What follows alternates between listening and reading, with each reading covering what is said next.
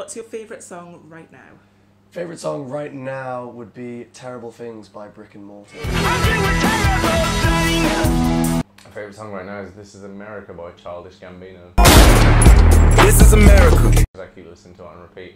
That or uh, These Boots Are Made for Walking by Nancy Sinatra. I don't know why, I found a fondness for it recently and I can't stop listening to it. Well, I'm kind of, I'm like a rock chick, but then I have like my emo tendencies. like the hair gives it away, I think. but uh, I love uh, Escape the Fate, uh, Broken Heart. And I also love uh, uh, Andy from the Black Veil Bride says we, we don't have to dance. so again, they're like the two like so like cheesy emo songs. So it's like I'm an emo. Nothing wrong with that. I can lift you up. I can show you what you want to see and take you where you want to be. You could be. Uh, it's uh, Safe and Sound by Capital Cities. Sorry, I needed to remember it.